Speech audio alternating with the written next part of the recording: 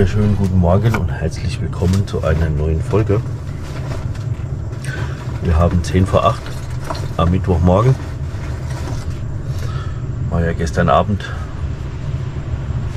sau spät. Fange ich heute Morgen später an. Ich fahre jetzt, beziehungsweise zuerst hänge ich meinen Vierachser ab, hänge den Dreiachser von meinem Kollegen drauf, weil auf meinem steht noch der 39. Den lasse ich auch da drauf stehen, so lange bis wir den brauchen. Und dann, wie gesagt, nehme ich den Dreiachser, das, das Tiefbett von meinem Kollegen und dann fahre ich nach Landstuhl, lade einen 922 Rail, einen 2 Wege Bagger. Ich muss ein paar Lockerungsübungen machen.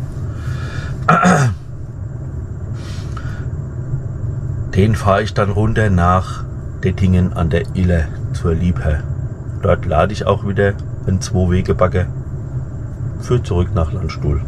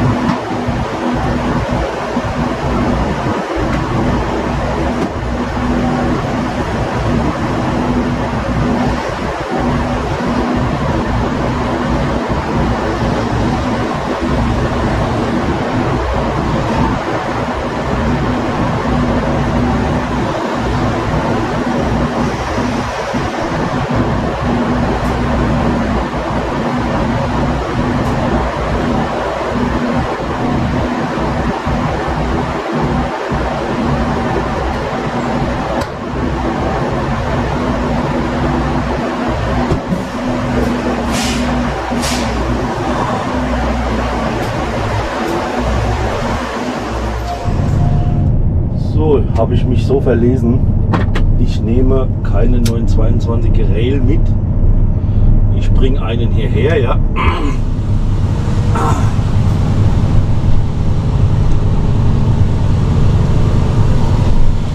Also ich nehme keinen 922 Rail mit. Ich bringe von Dettingen einen mit hierher. Ich lade einen 924. Einen i924, den nehme ich mit.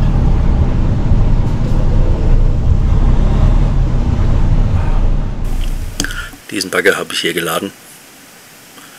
Ich bin dann runtergefahren in Richtung Dettingen. Bei Pforzheim war dann die Autobahn voll gesperrt in beide Richtungen. Hier sieht man gerade die Aufnahmen, wie ich dann endlich wieder auf die A8 bei Wurmberg auf die Autobahn fahren darf. Auf der Gegenfahrbahn kann man sehen, wie der Verkehr, wie die, wie die LKWs gerade rückwärts die Autobahn rausfahren und dann Wurmberg von der Autobahn geleitet werden. War das absolute Chaos. Hab das dann an diesem Tag nicht mehr geschafft, nach der Dingen. War dann erst am nächsten Morgen da. Hab dann schnell um, umgeladen und bin dann wieder zurück in Richtung Landstuhl. Das lief bis auf kürzere Staus. Einmal Wendlingen und einmal eben wie hier Pforzheim. Recht gut.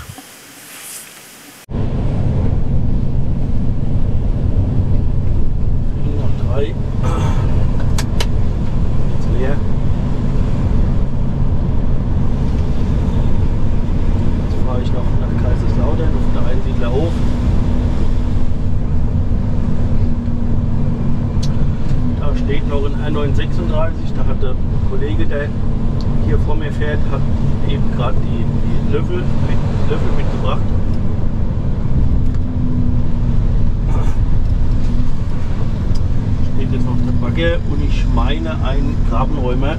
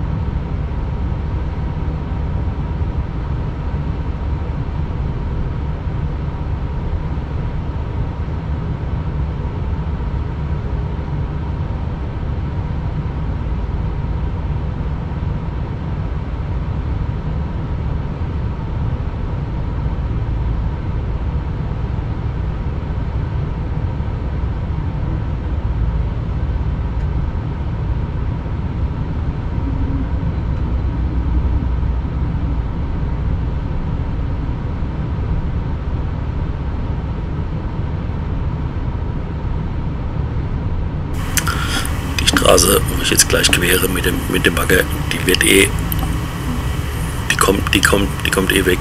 Links kann man schon, schon die neue Straßenführung sehen, die ist schon auch schon soweit fertig, nur halt noch nicht befahrbar. Deshalb habe ich mir da gar keinen großen Kopf gemacht. Rein in den Bagger und quer über die Gasse.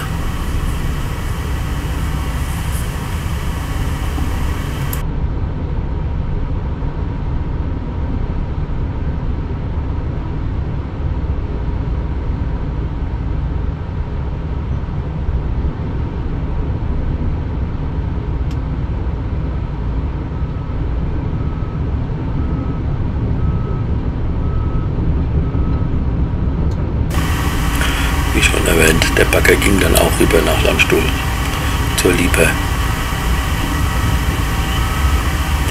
Ich bin dann im Anschluss, nach dem Abladen, bin ich dann nach Hause. Für mich war dann Feierabend an diesem Tag. Einen wunderschönen guten Morgen. Ich bin hier in meiner Halle. Ich sattel gerade um. Ich hänge den Vierachse drauf jetzt.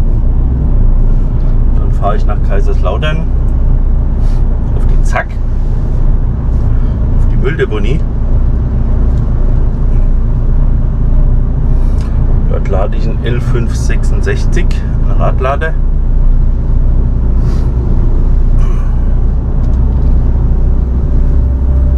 Ah, fahren. Und äh, der geht nach, Rot, nach Rodenbach rüber. Dann fahre ich hoch nach Sembach,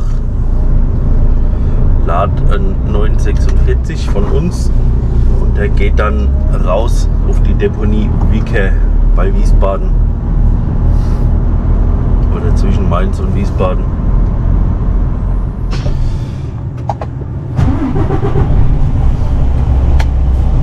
So, 7 Uhr habe gerade was.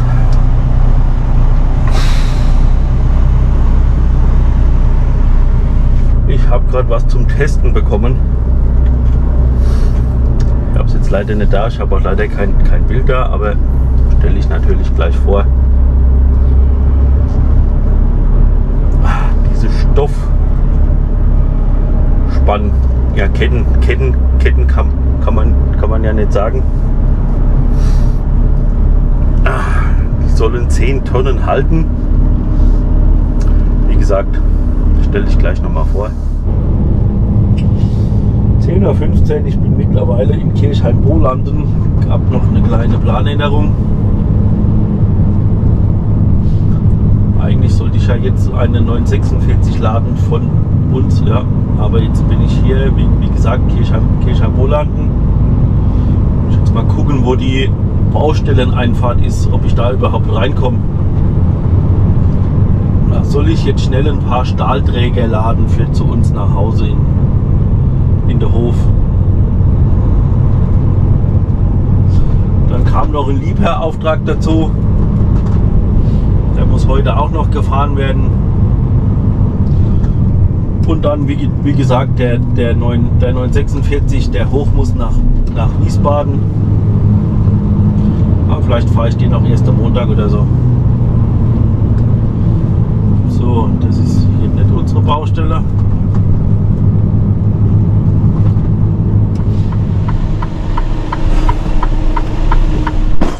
Ah, ja. So, ich muss hier jetzt rückwärts rein. Auf, ja.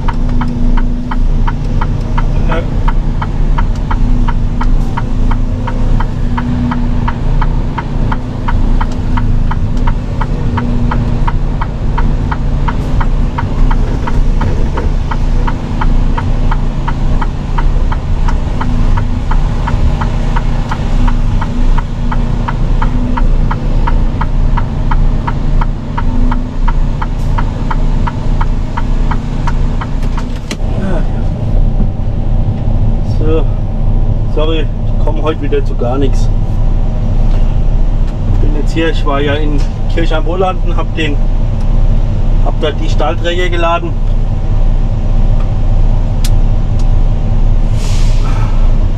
Den, den Tieflader habe ich jetzt hier vorne rechts am, am Zaun, wo, wo, die, wo unsere Baggerarme stehen, habe ich den Tieflader ab, abgesattelt habe ich wieder den von meinem Kollegen draufhängen, weil meiner ist ja immer noch beladen. Jetzt haben wir 20 nach 1, Freitagmittag. Ich renne jetzt noch mal raus nach Ludwigshafen zur Liebherr. Aber der Kollege ladet, ladet schon ab, ja. Ich finde ich gut. Ich renne jetzt noch mal zur Liebherr nach Ludwigshafen.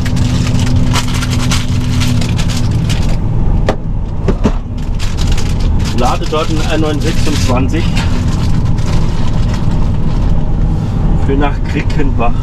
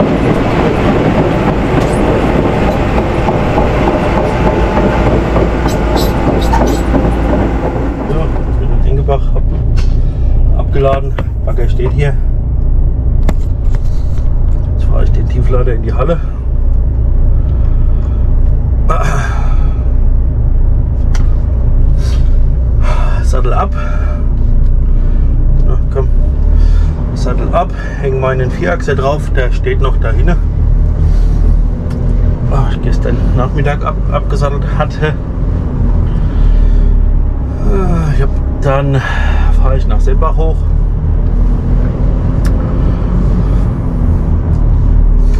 Lad dort ab. Ach, ladet ab, genau. lad dort den 946 vor. Stelle ich dann wieder hier rein zu mir in die Halle. Sattel wieder um.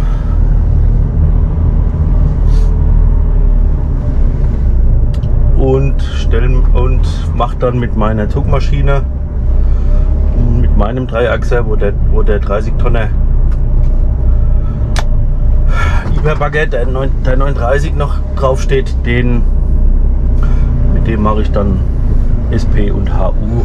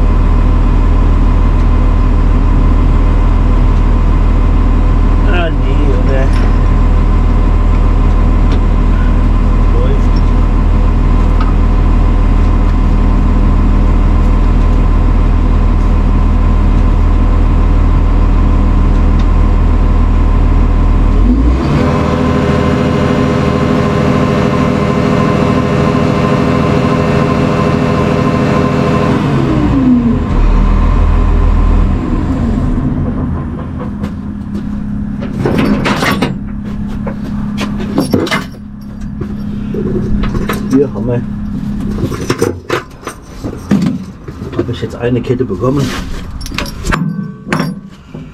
Die soll ich jetzt hier mal testen. Moment. Gucken, dass ich sehe, was ich filme.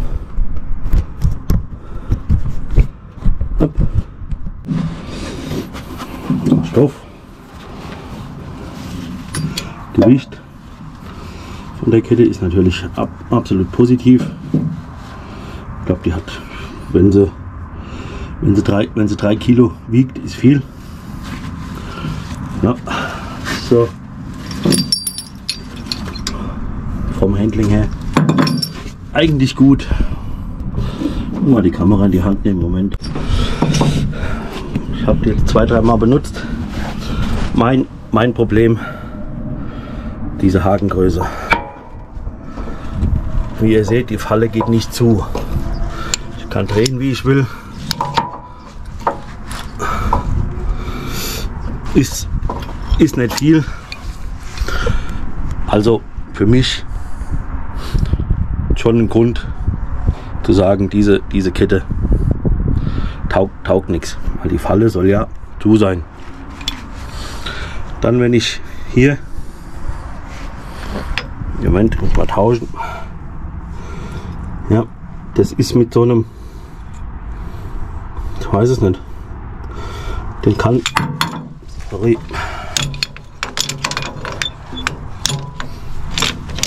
na, bleib liegen, man da hier, den kannst du mit der Hand biegen.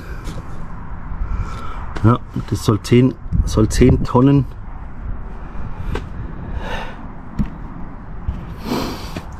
Weiß es nicht. Also. Vorteil darin definitiv das Eigengewicht der Kette vom, vom Handling, vom Arbeiten her einwandfrei. Wenn ich jetzt so, so eine Kette sehe, ja, die hat ca. Hat ca. 5, ca. 25 Kilogramm eine. Circa hebt auch eine 16 Tonnen. Wie gesagt, vom, vom Handling top aber einmal die, der Haken ist der Haken. Und ich finde das hier also, aber noch keine Maschine geladen damit, wo diese Falle zuging. Ich habe natürlich Kranzketten. Ja. Hier habe ich ein Bild von so einer Kranzkette. Die kann man hier an dem Pfeil öffnen und wieder schließen. Und darin habe ich dann diese Stoffkette einhängen müssen. Ja, die habe ich dann jedes Mal drum, drum gemacht. Aber für mich müssten die Haken größer sein. Lass mich in Ruhe. Ja, und dann, dann könnten wir darüber reden. Das nächste ist der Spanne. Ja. Diese Seite ist dicker, diese Seite dünner. Ich nehme an, dass diese Seite sich dann hier reindreht. Aber was mich, was ich mir beinahe schon in die, in die Schnute geschlagen hätte. Wenn du, bist am Surren, ja, hier, und dieses Teil wedelt hier rum. Ja, gäbe es definitiv eine bessere Lösung. Hier, das sieht normal aus.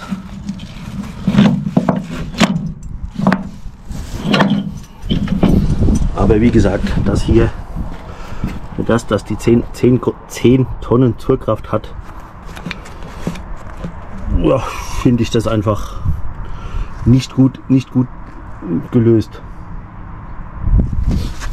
Und wenn ich mir so manche, das sind ja einfach solche, solche Gurte, 1, 2, 3, 4, 1, 2, 3, 4, 5, 6, 7, so wie es aussieht, achtmal über, achtmal über, äh, übereinander gelegt einfach hier eine Naht drüber und hier eine Naht drüber.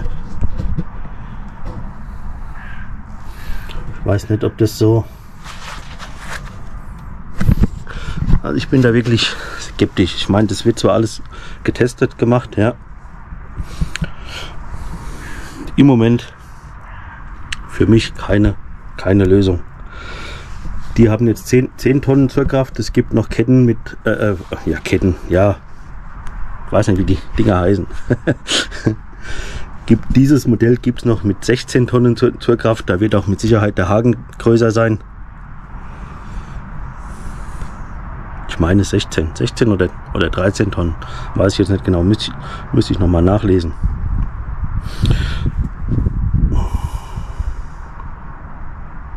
Und wenn so ein wenn so eine wenn so eine Schlinge mal kaputt gehen soll, ja, wir, wir kennen es alle vom, vom Gürten, einmal ziehst du spannst einen Gurt über eine Kante drüber und der Gurt ist im Arsch. Ja, wenn das hier auch mal passieren sollte, manchmal musste die Ketten einfach über eine Kante spannen. Ich weiß, das sollst du nicht, aber manchmal geht es nicht anders. Dann könnte man so ein Teil könnte man einfach austauschen. So ein ja, Kettenglied halt. Aber wie gesagt, für mich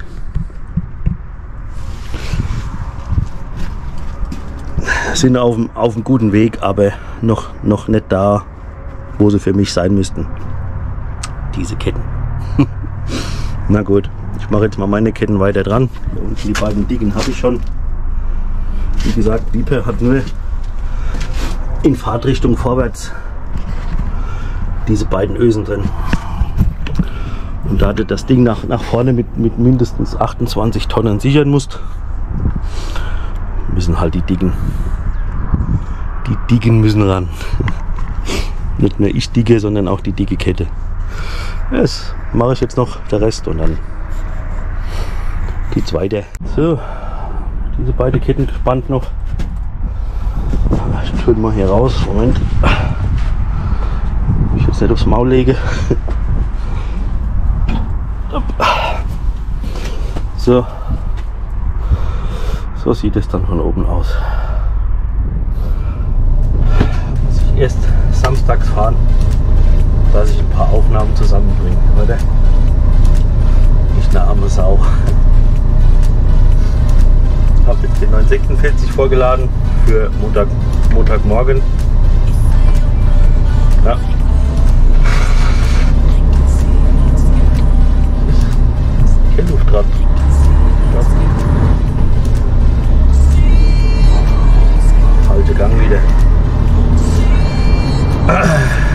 Wie gesagt, den habe ich vorgeladen für Montagmorgen.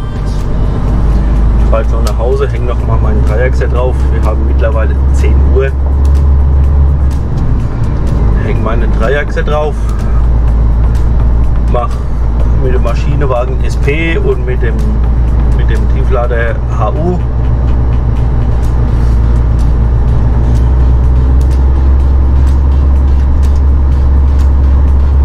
Das zeige ich euch aber nicht mehr.